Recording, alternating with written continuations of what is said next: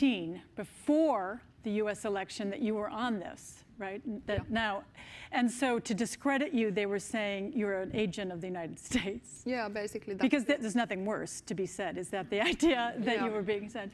But but beyond that, so how did it affect you? When, how did it affect you? They, it was even worse. I mean, they called you every name in the book, demeaned you. Uh, Yeah. Did it make it hard to to work to keep of going? course, and that was their whole point as they continued uh, their basically criminal smearing campaign. For example, today I believe they have made around 250 fake news stories about me only at one pro-Kremlin, pro-racist, pro-neo-Nazi fake news site in Finnish.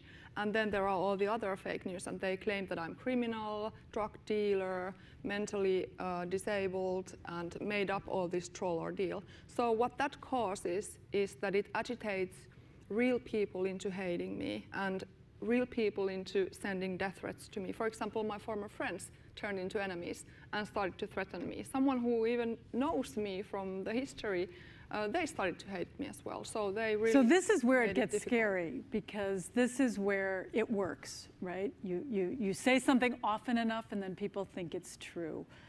Uh, and this is kind of the sad fact of why this index is so important that we kind of take a look, take a breath, and try to figure out where we go from here.